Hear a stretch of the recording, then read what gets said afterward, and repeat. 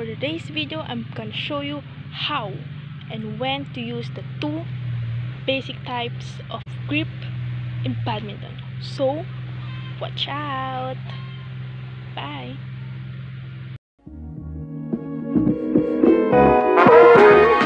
Form a handshake gesture, then hold your racket. And as you can see, if you are using this kind of grip, you will notice that the position of your index finger is higher than your thumb and your thumb is touching your middle finger on the left side. Remember, if you are using this kind of grip, you have your hand on the racket like this and slide toward the grip. It is like the head of badminton is in between your index finger and thumb.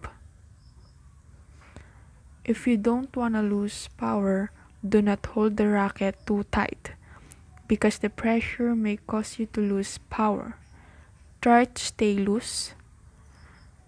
And while holding the racket, imagine yourself holding a knife and cutting some vegetable, etc. Something like this. Using this grip can help you generate power from your wrist while hitting the shuttle. Like that.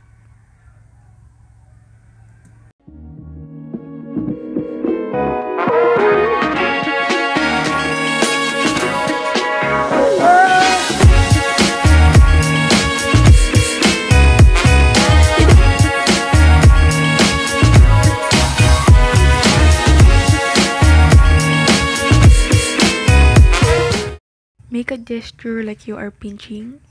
Grab your racket. Place your thumb at the wide part of your racket. Remember that if you are using this kind of grip, your thumb is higher than your index finger. Your thumb generates power when you are hitting the shuttle, like this. When doing this kind of grip, the backhand grip, you really need to have loose finger so that you can generate more power when hitting. Because when your grip is so tight from here at your hand and your thumb, you will not be able to generate power and you might lose power as well. So try to stay loose.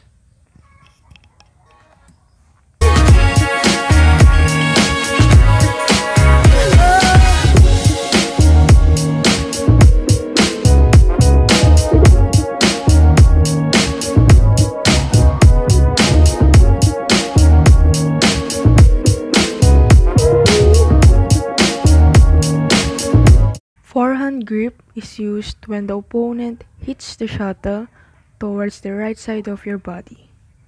Rotate the racket, place your thumb on the wide part of your grip, and this is used when the opponent hits the shuttle towards the left side of your body.